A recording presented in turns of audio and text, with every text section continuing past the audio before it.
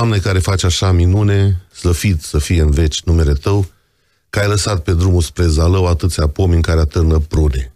Aceste fructe bune în budincă, în tarte, în magiun sau în găluș, sunt minunate numai când le guși sub forma lor lichidă de călincă. Te-ai îngrijit și ai răsădit copaci pe orice șans, pe orice deal mărite și astfel vezi doar fețe fericite și nu există nici bețivi săraci. M-am tot uitat la ceilalți pomi, subțire. Abia de vezi 3-4 verzăciuni, nu bogăție cum ai dat la prun de atârnă ca turbatele în neștire.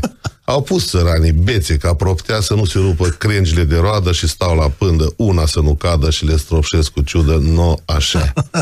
La fiecare casă e un cazan și toamna când se termină borhotul, miroase drumul spre zalău cu totul, ațuică de te îmbată la volan. Pe aici nu vezi divorțuri numeroase, că dacă e răchie din belșug, bărbații stau acasă și nu fug, că li se par femeile frumoase. Așa că, Doamne, dacă suntem buni și îți ascultăm de toate cele sfinte, fă o minune, te rugăm fierbinte, și pune în toată țara numai prun.